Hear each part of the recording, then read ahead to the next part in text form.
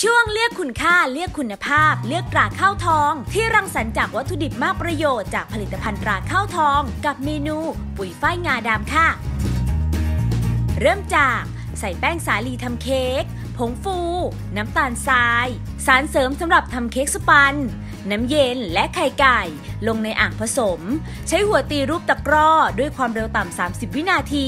เพิ่มความเร็วสูงสุดแล้วตีต่ออีก 3 นาที และลดความเร็วต่ำเหลือ 2 นาที เติมนมข้นหวาน ตีผสมจนเข้ากันดีแล้วปิดเครื่องค่ะแบ่งส่วนผสมเป็น 2 ส่วนเท่าๆกัน เนื้อสีขาว และเนื้อผสมงาดำตราข้าวทองคั่วบดละเอียด